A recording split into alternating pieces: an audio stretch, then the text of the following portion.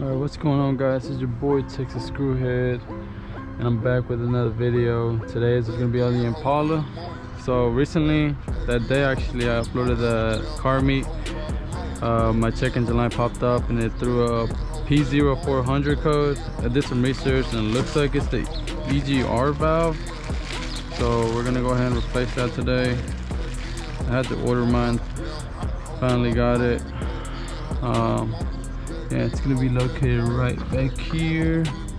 So i'm gonna show you the process on how to replace this. And some signs that i had lately was um, the car was just having a hard time trying to start. It just wouldn't crank. Like it would crank. If anything it, it would die right away. So yeah and then uh, luckily i got to drive it home safe. It was actually throwing smoke through one side. So hopefully it's that. If not it might be a gasket leak but today i'm gonna show you how to fix that all right? All right guys so i went ahead and take it off. So first i took this uh, cover off and then it just held by two uh, 13 millimeters screws. Uh, just want to undo those uh, undo the vacuum line that's on top here. And then another good thing that i saw around online they said to check your hoses make sure they're not cracked obviously. I mean this car is like 25 years old so lines do just tend to crack.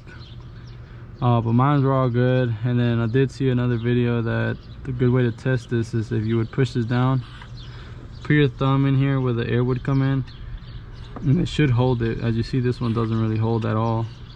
So that's a sign you have a bad one. So we're just gonna go ahead and replace it. I'm gonna take off the gasket it has in the back or I was trying to. Oh my god. I was just peeling it. I think it fell. Oh no, it's still on there. It's there pretty good. It's kind of a pain that's in the back, but to be honest, not too hard to get off really. Like I said, it just held on by those two screws right there and then make sure it can't. it comes with a new gasket. You don't want to obviously use your old ones. Always want to repair those. Because that could be one of your main problems and here it is. So it goes just like that. Here's the old one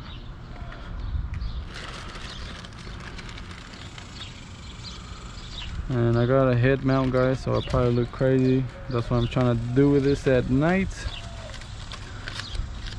If I could open this. And here's the new one.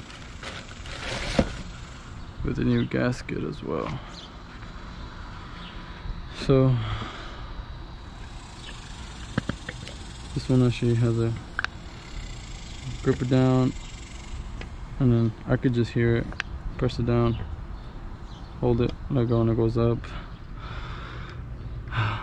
So yeah this is the new one new gasket.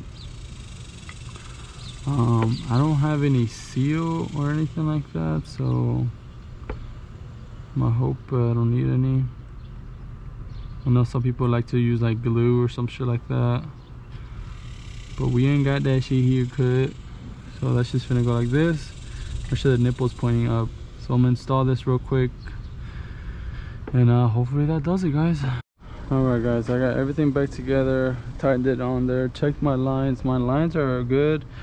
I didn't see any cracks or anything on mine so just kind of ran through that wire see what's going on. Um, so you do have some lines over here. I believe it's going to be under your throttle body. And then of course check this side.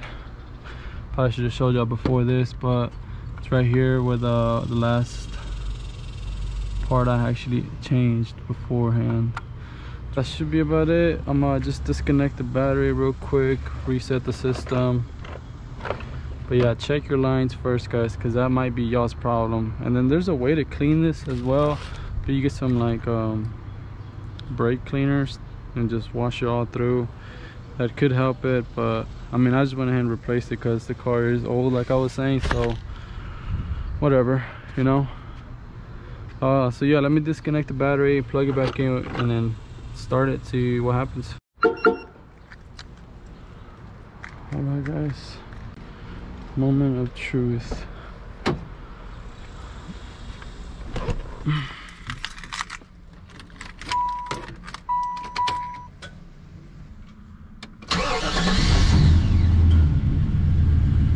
And it also felt like it was like vibrating when I started it. Like like something was definitely wrong.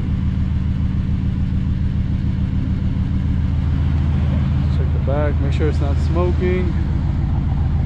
When I ran it, uh, one of the tailpipes was throwing hella smoke. You can kind of tell this one is throwing a little bit of smoke right now.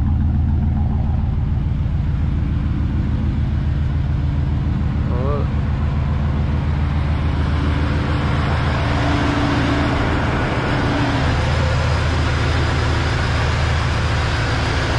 Does smell like gas a lot. I mean, I don't know that's normal, but it smells like gasoline a lot. I think that was one of the things that could cause it. But this vehicle is shaking a lot actually, like it's trembling a little bit too much.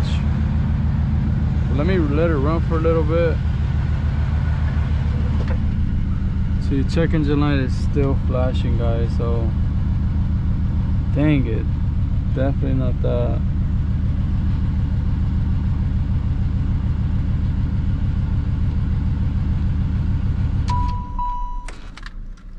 So I'm gonna have to do some research. Some more research. See what it is, guys. And also did notice overnight I have a leak going on. A coolant leak. It is a slow leak, so it's nothing major. Um, I did check the opening right here. I don't know if y'all could see that. There's like a little drain plug for the radiator. It's not from there. But I actually, when before I started working on this, I actually noticed it's coming from right here. I'm not sure if it's something I could fix, but it doesn't look like it. I think it's a crack in the radiator. You just see right here on the top, it's leaking. You'll see right there, my hand is a little bit wet. But yeah, guys, that's what's going on with the Impala right now at this moment. So, I mean, maybe I should let it run for a little bit more, but I don't want to risk it. Man, I think it might be a head gasket leak I have going on in this car. If it is, then it's going to the shop. To be honest, guys, I don't know if I should put money into this motor or should we just swap the motor, guys? What do y'all think? You think it's time or should I go ahead and fix it? Well, guys, so yeah, looks like I'm gonna need a new radiator for it most likely i mean i don't know if i could fix that. I'm gonna do a little bit more research because i literally just found this out today. Um does have a small leak in it although it is starting to leak a little bit more now. Before it was just small drips. Starting to drip out the driveway now. Dang it guys. Dang it dang it dang it. At first that code popped up a while back. I'm not gonna lie. So I was kind of driving it with the check engine code on and took it to AutoZone see what it was. That's when they told me it was a P0400 and I figured it was the EGR valve. Which I'm pretty sure it was. You know, it's just something else popped up now. I'm trying to get all this gunk out. It was gonna be a tutorial video on, well I guess it, it is, but now it's just really an update on what's going on with the with the Impala. So right now she's not drivable. Luckily I have the sexy R1 to drive with. And yeah guys. I'm gonna try to start it again. See what I can do for it but as in right now she's not looking good guys she is not looking good at all. Thank you guys. All right guys well if y'all have any uh, tips advice let me know down in the comment section below. And uh, let me know if y'all know what this could be or what what it is. Worst case scenario it's a head gasket leak. That's where probably where my problem is. Just don't want to take it to a shop because i know they're gonna run me up a stack man. I already know. Yeah as y'all see right here it is spitting from one side only and it's actually leaking gas. The other side is doing all right. Man this smell is really strong too so definitely something wrong. I'm gonna cut the engine off i'm gonna do some more research guys. I mean i guess that's gonna be it for this video. It's gonna be a short video so hope you like this video on how to install the egr valve. Besides that man keep me updated. Let me know down in the comment section below. Leave a like subscribe and uh see you on next video guys. Deuces